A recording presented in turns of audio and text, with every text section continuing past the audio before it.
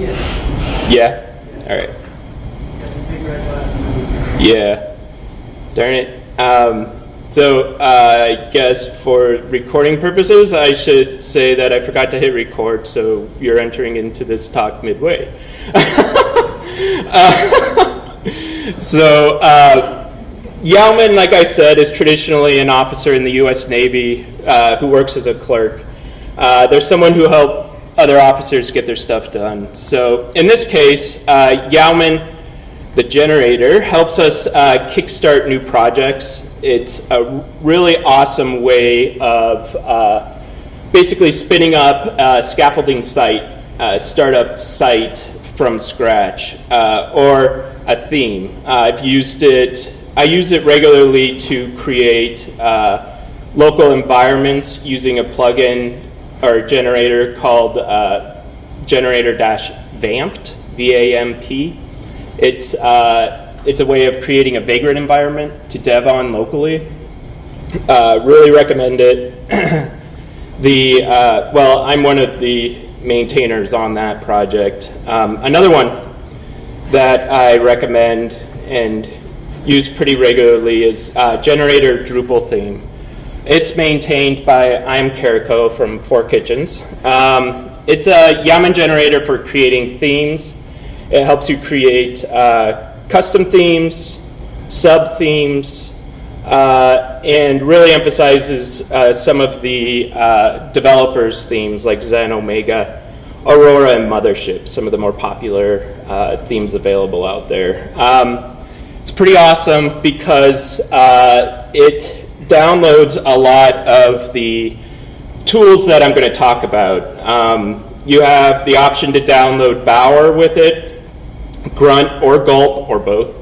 Um, it uh, then uh, goes in, does a bundle install for you, installs all the needed libraries automatically, downloads all the needed scaffolding for your theme, so your .info file, your Sass directory, image directory, which you define, um, and uh, then at the end starts your compile.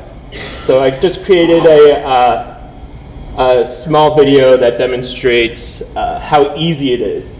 Once installed, you just type yo Drupal theme, and it starts going through this process. Questions, what do you want to call your theme? Is it a sub-theme? And if so, of what? I said custom, and it's a sub-theme of bear. Um, do you want to customize your directories? And it walks you through all your directories with defaults that enter in uh, if you just hit enter. Um, then you get a checklist in the command line where you can select grunt or gulp or bower, and it makes only a few assumptions, uh, questioning you on most of the uh, the not so uh, the the questions that you shouldn't assume um, people need. It then goes through, goes out into the into the world, into the internet realm, and finds uh, the correct plugins for you, running your bundle install, bundle update, uh, Bower install, Bower update, um, and uh, I think, oh, it's not going to loop. Okay. Uh, then uh, at the end, you're left with a directory with your Sass, your bundle uh, config file ready to go, um, your Bower config file, your package uh, file, um, and the sort. Uh, let's see. So now I'd like to uh, quickly go over Grunt. Again, I'm just uh, doing a brief introduction of these tools, uh, you know, with the idea of you going out and exploring it further. But if you have questions, you know, I'm not against you interrupting me. Uh, so Grunt. Um, Grunt is actually has actually become my tool of choice and it's because I deal with very large uh, sites. And I have found and I have seen in issue queues where people uh, with large uh, uh, Sass, uh, large Sass partial uh, structure run into issues with Gulp dealing with things like sprites. And it actually takes me on Colorado.com three times the amount of, three times as long to compile my Sass as it does with Grunt. But Gulp also is awesome at running parallel tasks and is great with the script minification, the linting process, um, and a lot of the tests. So it's that's why you find so many people uh, arguing over which is better. It's because you know each one is good at different things. Um, so why use a task runner?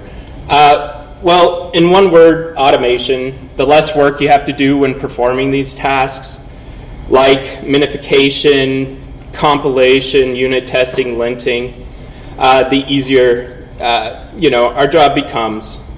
And after you've configured it, you really don't have to go back too often to deal with it again. Uh, one thing Grunt has going for it are options, which are both a plus and a negative. Uh, it has a larger community um, than the Gulp community. It has, as of yesterday, 4,430 registered plugins. Um, and it can automate just about anything except for uh, you know checking the status of your coffee pot in the morning uh, to see if you know so and so didn't fill it up when he was done getting his cup. Um, sorry, no animosity there, right?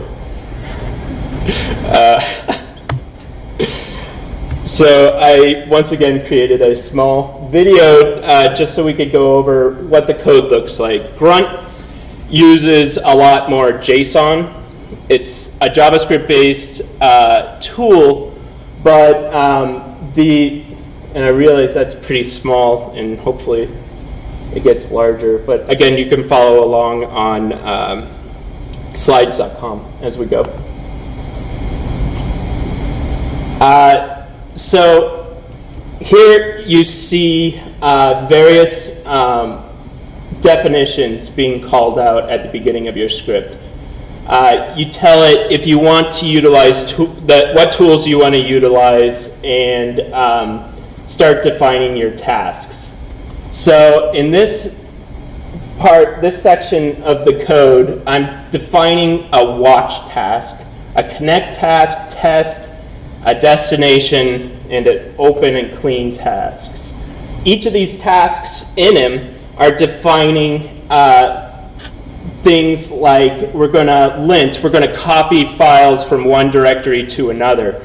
Like if you want an, image, an original image directory and a minified image directory, you can do that here. So it copies the file over to your, your minified image directory, then minifies it for you.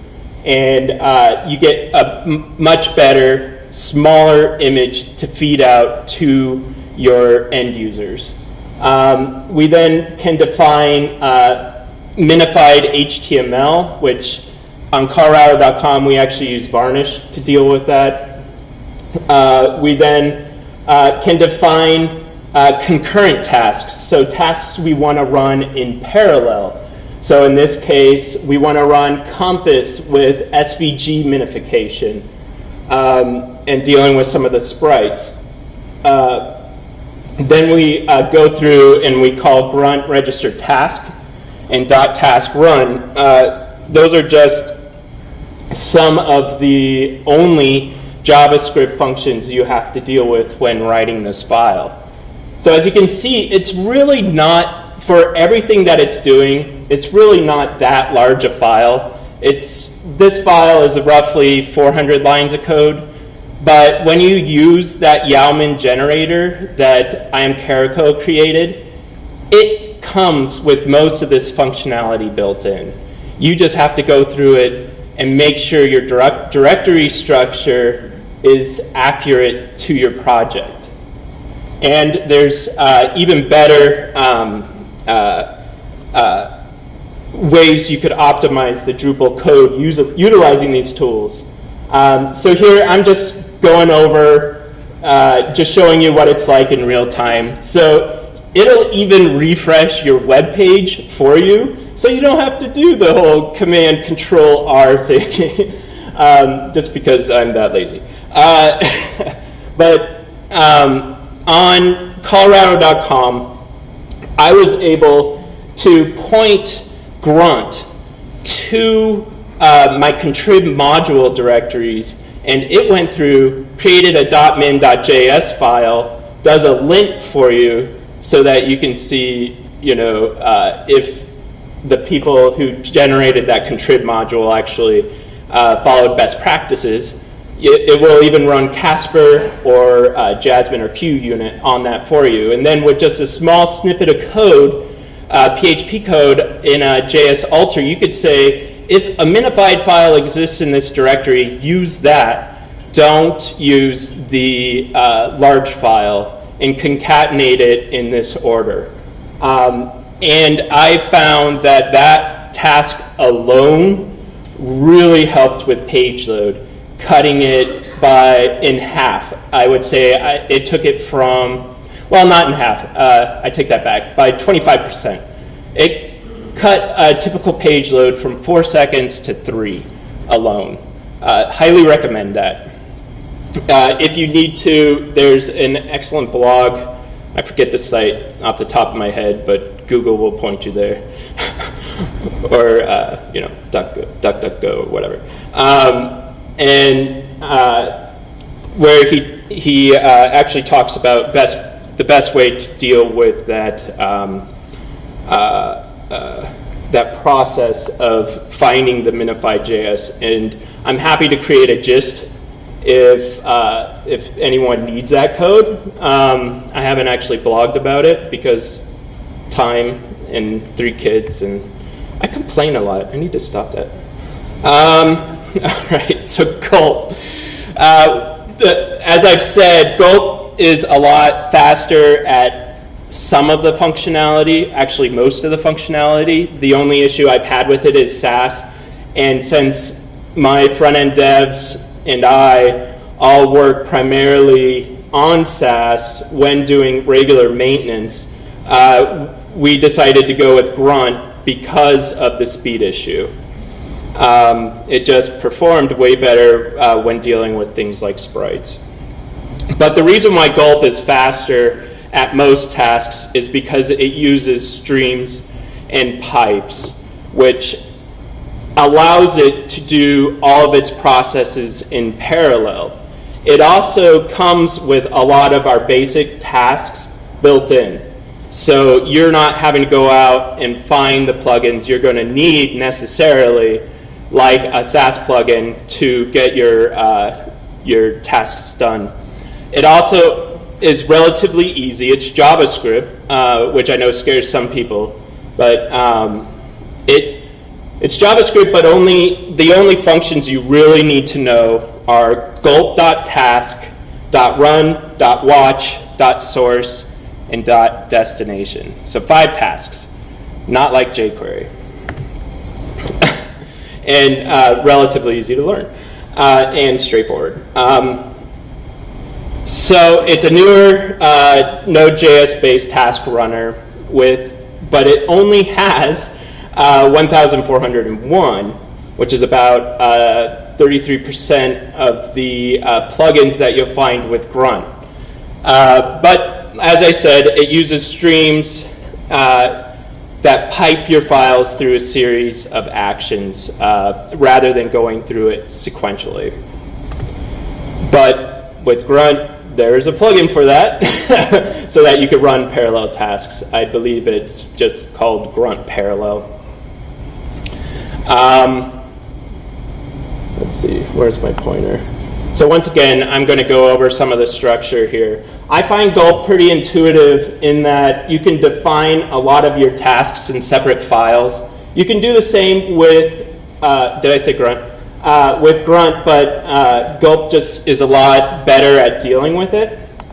Uh, the uh, creators really thought that through, and being that I come from a large Sass world where I'm used to a ton of partials, this just is more intuitive for me uh, because you can partialize your uh, JS files in the same way. So I'm just going to go through the build.js file here.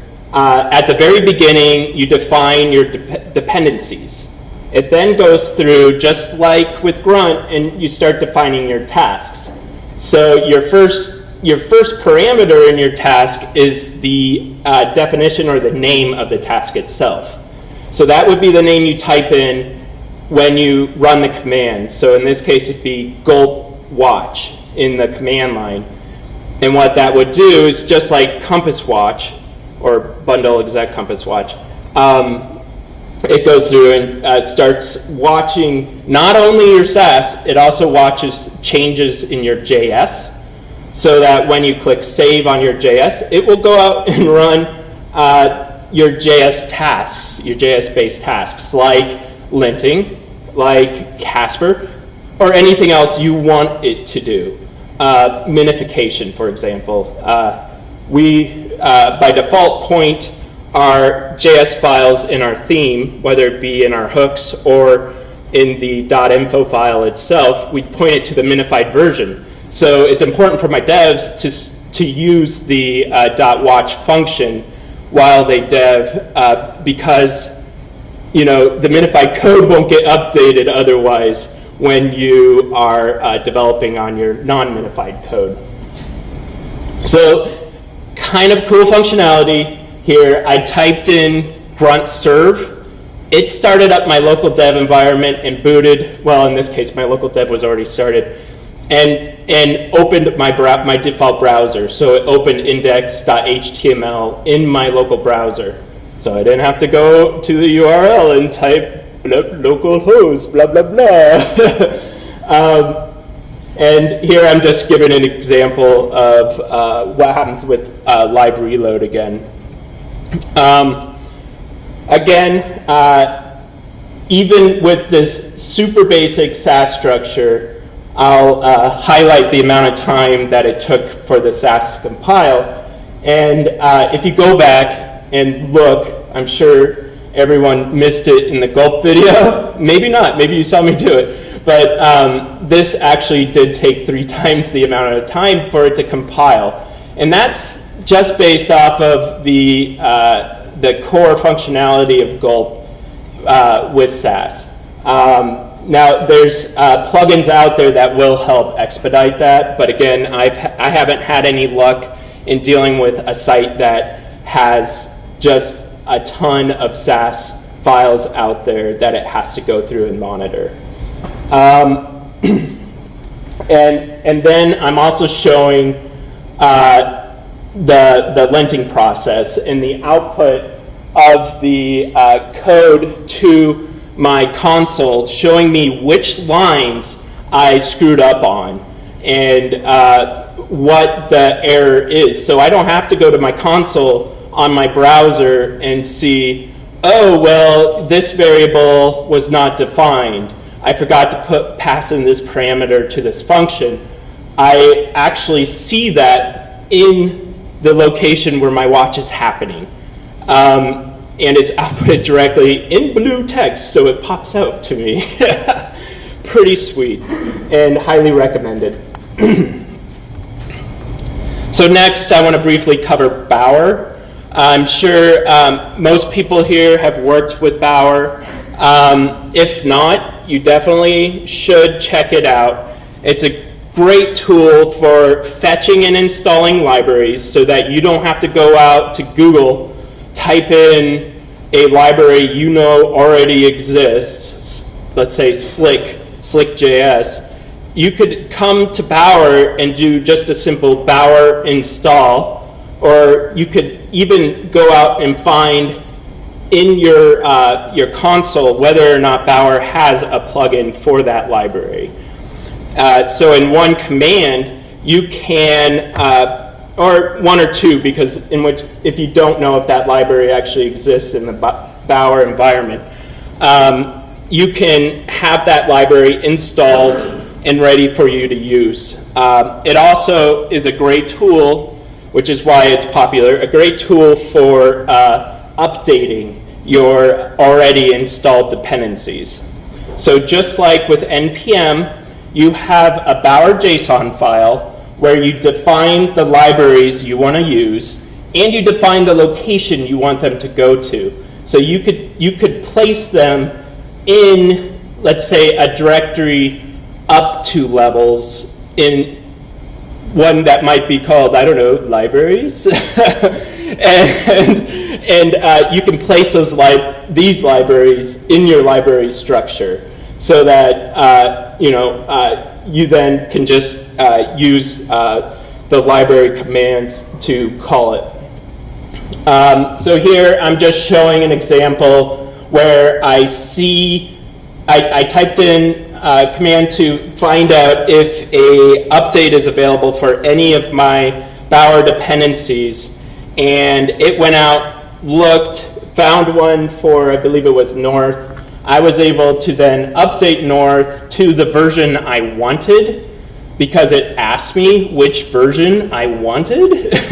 and um, and uh, have that install that for me. I then said, okay, I want the latest, greatest jQuery because I'm on the cutting edge.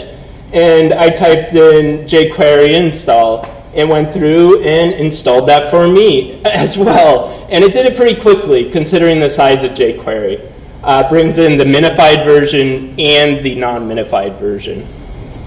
Uh, then I said, you know what, actually jQuery 2.0 didn't play nicely with my uh, admin pages, let's say.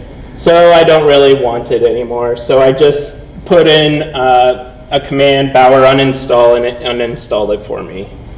Um, so again, another very useful tool.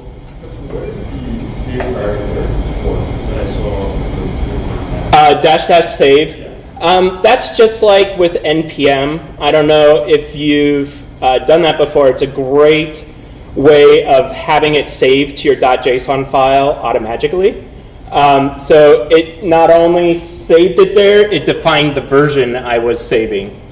Um, just by typing in dash dash save. So I didn't have to go out and find how do I do that again and, and put that in. I, I was actually able to just uh, type that in. So you could actually do that with NPM as well, uh, which it's a pretty badass way of dealing with it. And if you put in like a dev parameter there, it will actually put it in your dev dependencies as opposed to your distribution or production dependencies. So uh, check that out.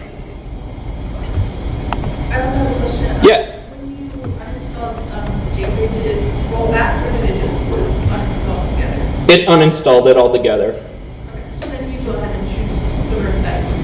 you. Yeah, exactly. So-? Oh, I'm sorry. Um, yeah, so she asked if it uninstalled the plugin altogether when I did Bower uninstall. So I assume uh, by that you mean took it out of the JSON file. And when I defined my version, I was able to, it put the correct version in there for me as well. Does that make sense?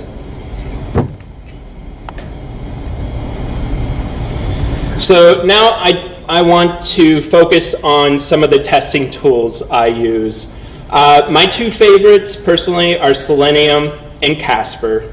Uh, Selenium because there is a Firefox extension for it that will record your actions as you're going through the page. It will uh, record that to a Ruby file, which, you know, for me, Ruby's a whole nother animal. I've dealt with it in the past, but it's something I don't like to touch very often because of my comfort level. I, I shouldn't say I don't like to because I like that stuff, but um, and then Casper's just straight JS. Um, so here I'm going to just do an example of Casper. Um, this is a testing tool that allows you to test your front end without actually having to touch the browser. So in this case, it doesn't bring up your default browser when testing. It doesn't bring up uh, your, uh, you know, uh, Firefox, Chrome, and Safari, and Internet Explorer. It actually goes in and uh, utilizes uh, what's it? It Phantom, I think. Sorry, it's not coming to me right now. Uh, the name of uh, the console-based uh, browser and goes in and tests tests your front end for you. So what it's doing is it's going through a browser environment and clicking on elements that you define within a test uh, environment. Is, does anyone in here actually use a testing structure like this? Use RAID. Uh, Sorry, RAID? We use RAID. Oh, RAID. With uh, which I was actually going to ask you, what's the difference between Casper and Phantom? If you know. Uh, I find there's not much of a difference. I find if you've worked on one, you could easily transition to the other. Um, uh, I, I was introduced to uh, Casper by uh, a guy named, he goes by Rupel on D.O and on um, Twitter. He works for Four Kitchens. He has an awesome blog out there on dealing with Casper and Drupal. And so, based off that, I started experimenting with Casper and made my transition from Selenium to Casper. I've also, you know, played with Jasmine and played with QUnit. There was a good talk in Austin on QUnit. If that's something you're interested in, that's maintained by the jQuery folks. Um, but it's really heavy, just like a lot of their stuff. Um, uh, but Casper is really easy and intuitive for me to jump on. Yeah, go ahead. Phantom is just a headless web browser, whereas Casper is a has the a testing framework around Phantom. Yeah. All right. Thank you. Thank you. Um, and as you can see, again, it's more of a JavaScript-based uh, environment for um, uh, uh, running your tests. If you're not testing, um, you really should. Uh, really recommend it. It really helps you problem solve in the end. Um, you don't have to go through necessarily and make sure an element is getting rendered out to the page in the correct location. And uh, if you click on it that you know another element is toggling for you or uh, or if you hover over it uh, something is displayed. Let's see where's my cursor? So uh, again here's the link. Uh, you'll find it on my slides. You could try and copy it now. Uh, but it's on uh, the. Great resource, uh, writ, written by uh, Rupel, uh, Chris Ruppel. He, he also works on, made note of the pre-module, so that's preloading your links for you, fast and fast click, sorry, and uh, uh, the web components module. He's pretty badass. So uh, next, I'd like to cover just uh, a couple um, performance tools. I use uh, PageSpeed Insights and uh, WebPageTest.org a lot. Uh, both tools are really good at giving you hints as to how you can speed up your your uh, your site, whether it be uh, optimizing your images, uh, minifying your JS, etc. Um, worth going out and checking out. Super easy to use.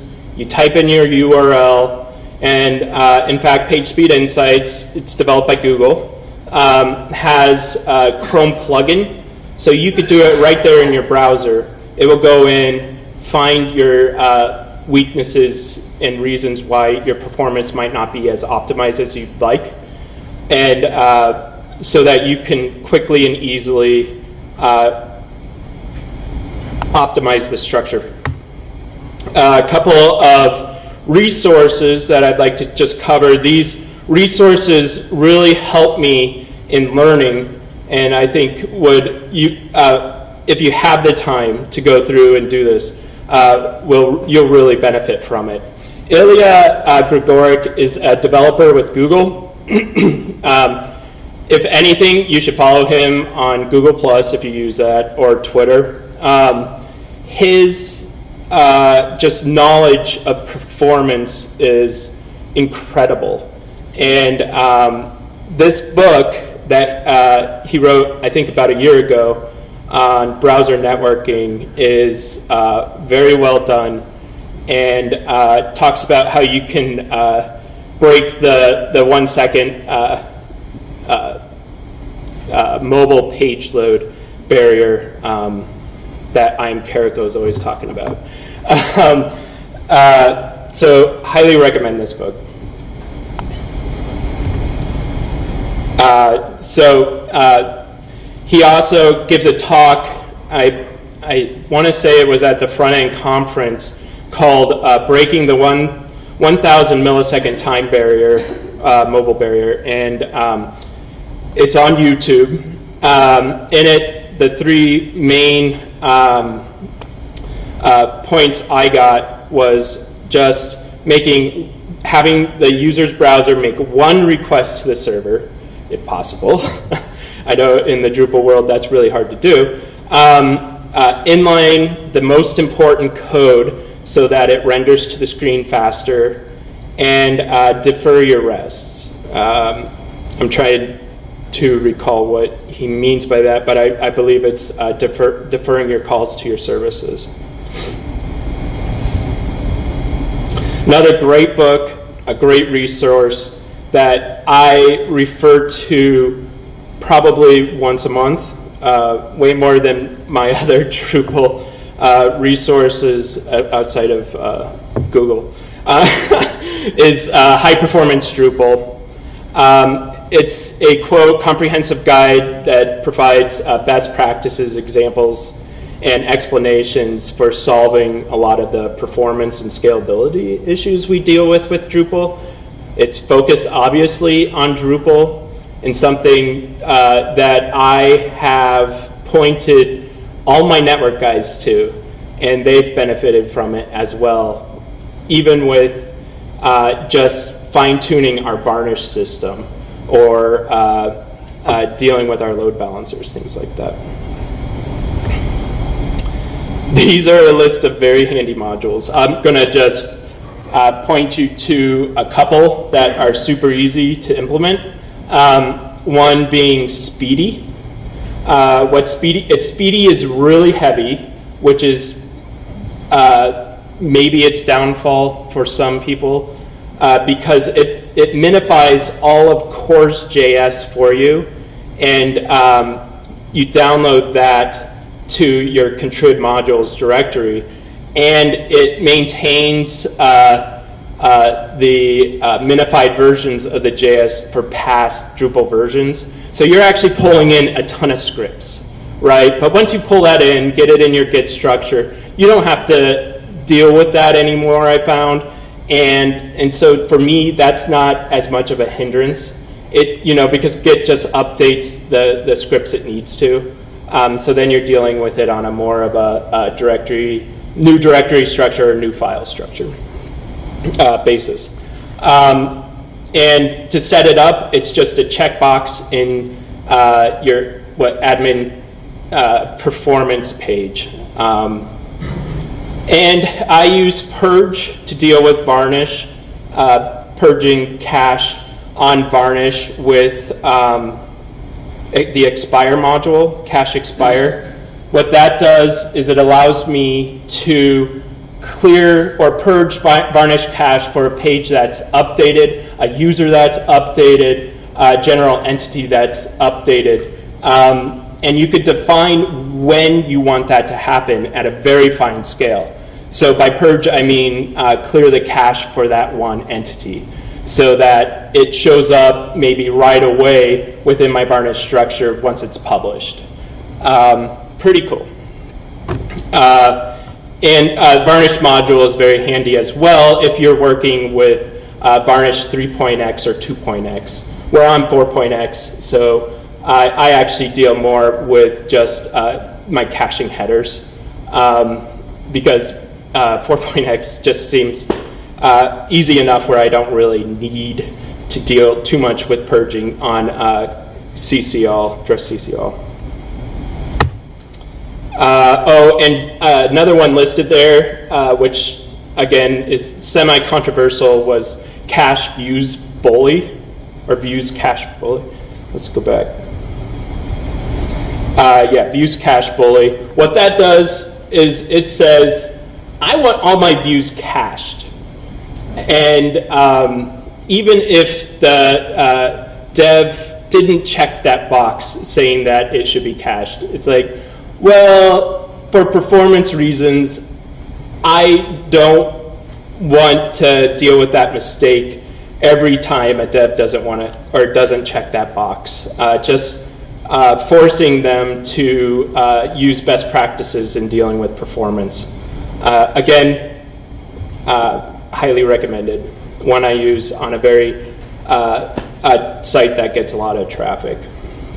And finally, I included some resources here uh, for dealing with performance optimization. I don't expect you to write all these down um, because they're on my slides, which you can find here.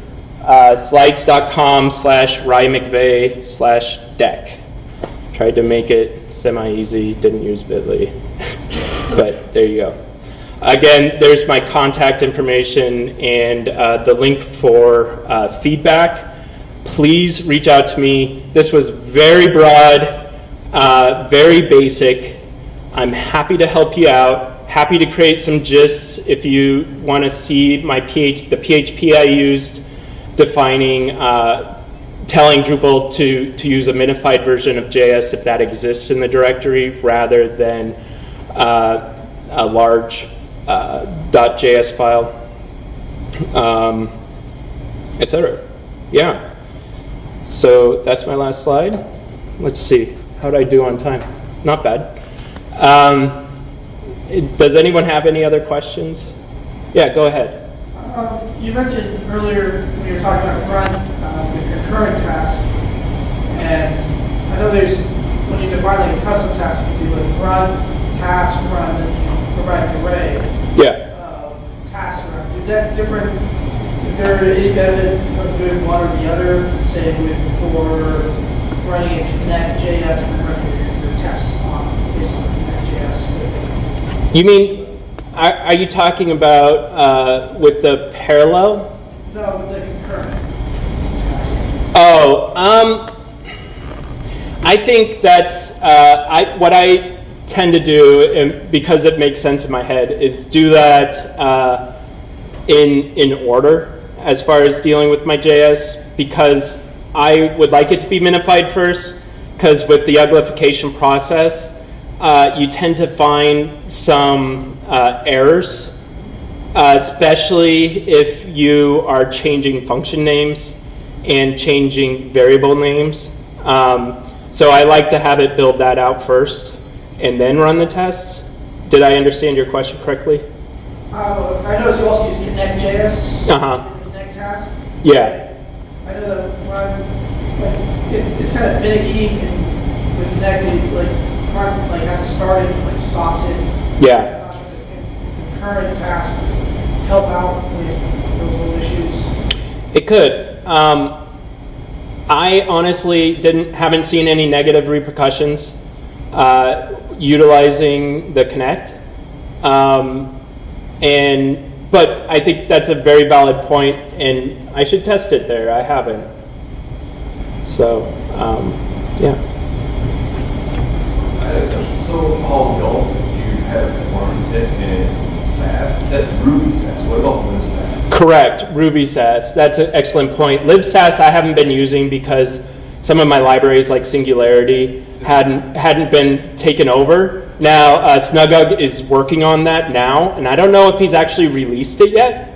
Um, but as soon as he does, you can count on me switching over to LibSass. LibSass is more of a C-based compiler and is way faster.